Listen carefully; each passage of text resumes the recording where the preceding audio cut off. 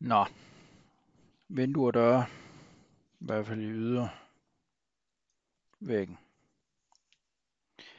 Øhm, for at vi ikke ender med at komme til at lave noget gruelegalt, så kan man gøre, at man kan gøre det på flere måder.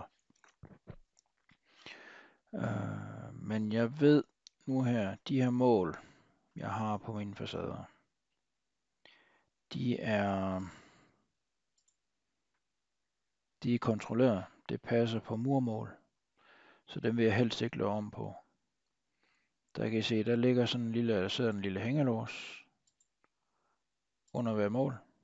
Den låser jeg. Det her, det gør jeg i første omgang for at få, eller for at sikre mig, at jeg ikke, når jeg begynder at få lavet sat vinduer i, at jeg ikke ved et uheld kommer til at øh, lave om på ydervægtsmålene.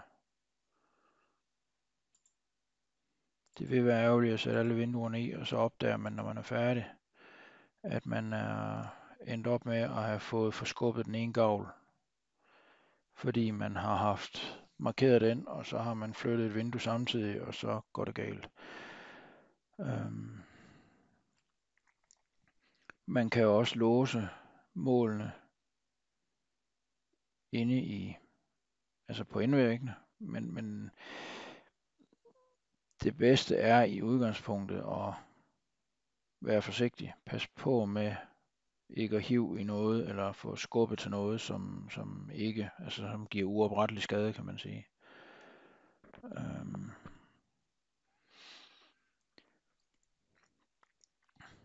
Så det er nok det, man skal sigte imod, skal vi sige det på den måde.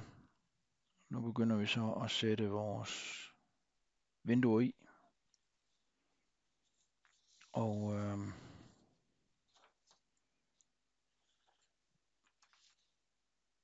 hvor skal vi starte? Hvis vi nu starter med væggen her.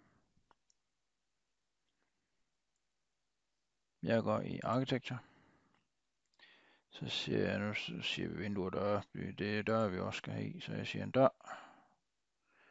Drop ned menuen. Og så skal jeg lige have fundet den rigtige.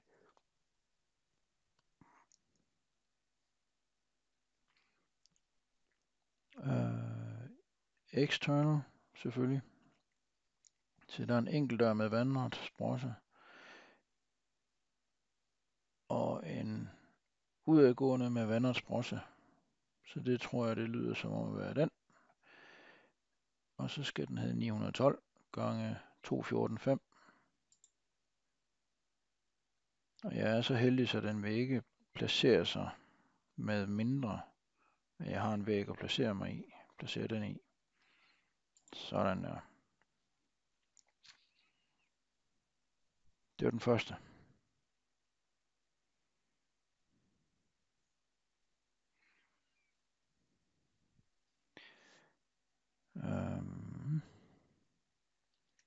Så skaber vi lige her. Så har vi tre vinduespartier her. Men det er vinduer til gulv. Så vi skal lige have fundet ud af, så der har vi fast vindue med vandret post. 14 øh, gange, 214 gange 912. Det virker som om det er den rigtige. Og så siger vi, at vi skal have tre af dem. 1, 2 og 3. Sådan der. Escape. Escape, så vi kommer ud. Så lige for ikke at vi begynder at rode med en hel masse, der ikke passer, så gør jeg det, lige går i 3D.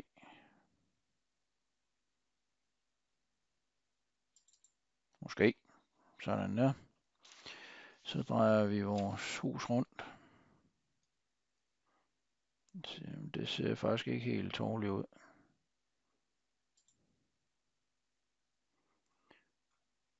Vi har vores dør og tre vinduer, som har principielt set samme udseende som døren. Når jeg skal dreje orbit, så kan jeg gøre det ved at trykke museknappen ned. Og så samtidig trykke på øh, med den shift. Ja, den hedder shift. Ved at trykke øh, mus, hvad hedder det? Hjulet, scrollhjulet på musen. Tryk den ned og shift samtidig. Så kan man orbit, hvis man ikke har en 3D-mus.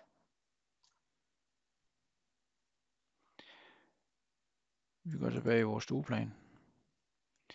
Placeringen af disse vinduer døre, det er, at det yderste vindue her, skal vi placeret op ad væggen her.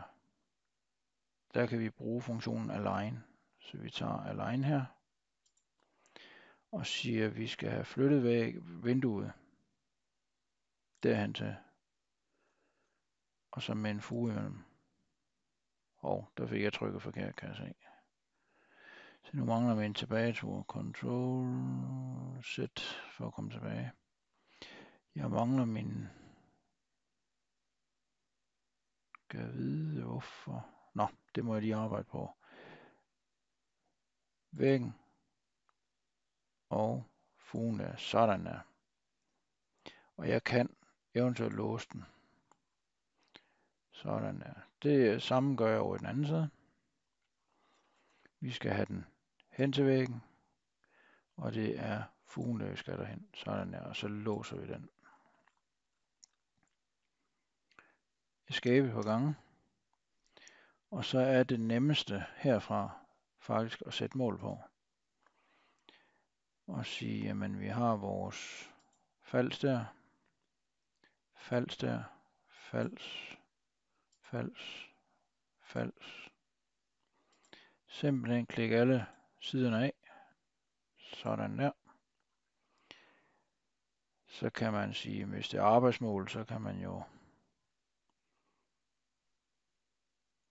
smide dem hvor som helst, men hvis det er noget, man måske skal bruge igen, så kan det godt være en idé at, lade dem, at lægge dem rigtigt, så man kan arbejde videre med det. Godt. Den der her, den er placeret rigtigt, det har vi sikret os, og det er den her også. Ergo skal vi have flyttet den dør her. Den kan vi ikke lave om på den family. Den er defineret sådan. Men ved siden af her, kan vi lave murværket om til den, der hedder 348, 348, 348 mm.